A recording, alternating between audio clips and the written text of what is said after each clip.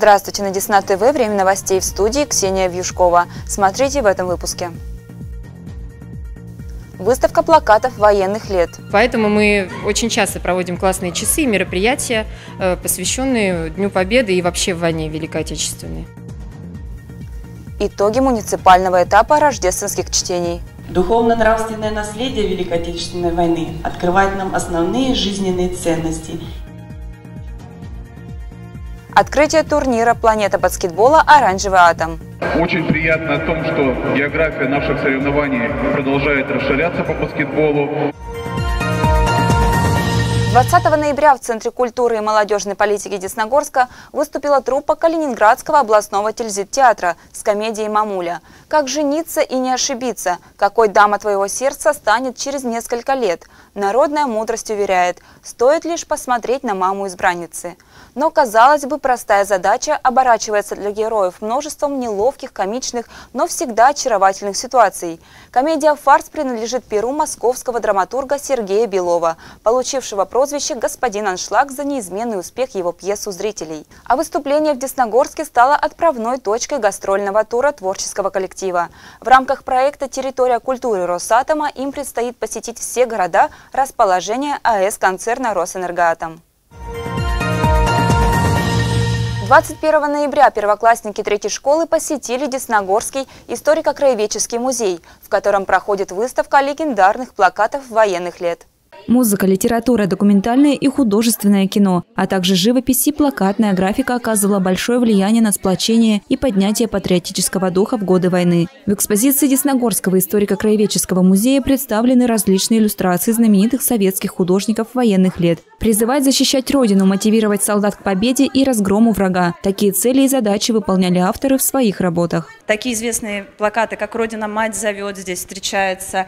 Э, встречаются плакаты «За Родина», «За Сталин», Сталину. То есть такие плакаты, которые призывающие всех от мала до велика встать на защиту своего народа, своей родины, своей страны. Московский музей Победы предоставил 30 плакатов времен Великой Отечественной войны. Первоклассники с интересом слушали рассказы о создании, значении и мотивах каждого плаката.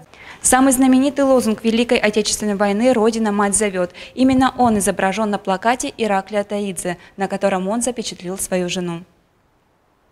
Этот плакат был создан в последних числах июня 1941 года. История создания плаката очень интересна. Сам художник рассказывал, что такой собирательный образ родился совершенно случайно. Услышав первое сообщение о нападении Германии на СССР, его жена Тамара Таидзе вбежала к нему в мастерскую с криком «Война!». Пораженный художник попросил жену замереть и тут же принялся делать наброски для будущего легендарного плаката. Рассказывая о том, как было тогда, в годы Великой Отечественной войны, дети слушали с особым интересом, а на вопрос экскурсовода отвечали молниеносно. Их взяли в плен.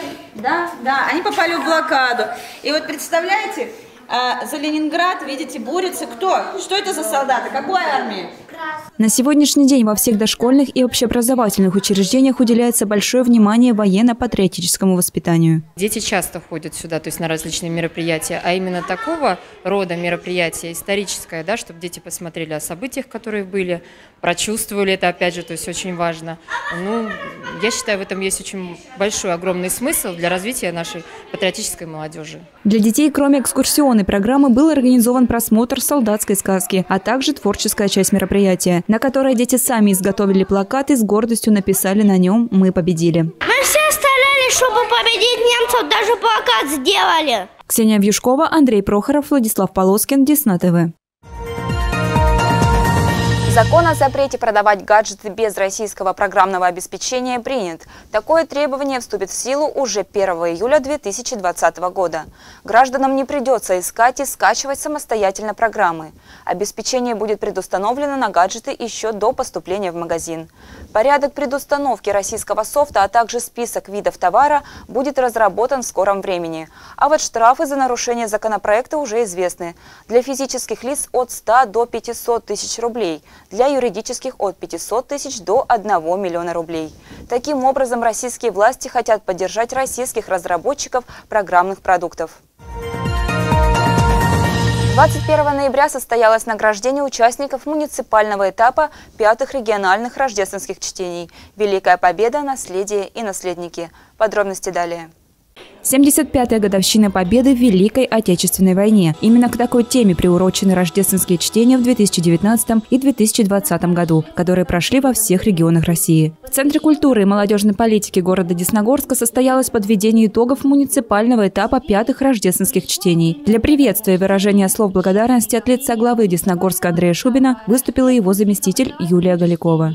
Я выражаю слова благодарности организаторам данного мероприятия, а также педагогам, обучающимся, представителями общественных организаций, духовенству города Десногорска за проделанную работу. Желаю вам успехов и плодотворной работы. Педагоги, организаторы и участники рождественских чтений были награждены почетными благодарственными письмами. Благодаря им в Десногорске был проведен ряд мероприятий с 30 октября по 18 ноября. Ступникова Екатерина Валерьевна, педагог-психолог детского сада «Ласточка». Участниками чтений «Великая победа. Наследие и наследники» были школьники, воспитанники детской художественной и музыкальной школы, Дома детского творчества и сотрудники учреждений культуры. А также активное участие приняли и детские сады города Десногорска. Каждое мероприятие и каждый его участник в рамках такого проекта стал сопричастен ко всем событиям, которые происходили в годы войны. Все мероприятия, которые проходили в рамках этих чтений, они были посвящены как раз-таки тому, чтобы молодому поколению, нашим и дошкольникам, и школьникам а, рассказать о значимости этого события и э, снова вернуть взоры к истории нашего народа, который ценой неимоверных усилий, колоссальных жертв одержал эту великую победу. На концерте выступили творческие, танцевальные и вокальные коллективы города. А также на торжественное мероприятие был приглашен почетный гость – ветеран войны в Афганистане, председатель Десногорского городского совета ветеранов войны и труда Игорь Журавлев. Он рассказал о поисковых отрядах города Десногорска и об их колоссальной и святой работе. Протеерей Виталий Сладков поблагодарил Игоря Владимировича и подарил образ иконы Божьей Матери – взыскания погибших. Хоть вы сказали, что единицы обретают имена, но все-таки эти останки наших солдат, которые вы поднимаете, эти безымянные кости, вашими руками и вашими трудами возвращается им наша благодарность наш поклон. Благодаря таким мероприятиям в молодом поколении продолжает жить сила духа нашего народа, воспитывается духовно-нравственное и военно-патриотическое воспитание. Ксения Бьюшкова, Александр Ерофеев, Владислав Полоскин, Десна ТВ. Введение в России трудовых книжек в электронном формате. Такой законопроект был принят в Госдуме во втором чтении – собирать всю информацию о трудовой деятельности, стаже каждого работника, занимаемых должностях, а также увольнении и прекращении трудового договора можно будет вести в электронном виде. Такие данные будут ежемесячно передаваться в информационную систему Пенсионного фонда России. Для работников появление такого формата трудовых книжек сведет к минимуму риск потери сведений о трудовом стаже, а отделы кадров такой законопроект освободит от излишних трудозатрат на ведение трудовых в устаревшей бумажной форме. В случае принятия закон вступит в силу с 1 января 2020 года. Пожалуй, одним из самых популярных видов спорта в Десногорске является баскетбол. Для этого вида спорта в Атомграде делается немало. Подогревают интерес к игре с мячом и регулярные соревнования. Об одном из них смотрите далее. Уникальность Десногорска не только в том, что это центр атомной энергетики Смоленской области. Именно здесь пять лет назад появился социально-спортивный баскетбольный проект «Планета баскетбола «Оранжевый атом». Сегодня это настоящее спортивное движение. Баскетбол неразрывно связан со спортивной жизнью города Десногорска и программа э, Планета баскетбола «Оранжевый атом» проводит в рамках этой программы проходит не один турнир. Сегодня география проекта уже за пределами России. Среди стран-участниц также Абхазия и Белоруссия. Очень приятно о том, что география наших соревнований продолжает расширяться по баскетболу, и такой вид спорта, как баскетбол, все больше и больше набирает обороты.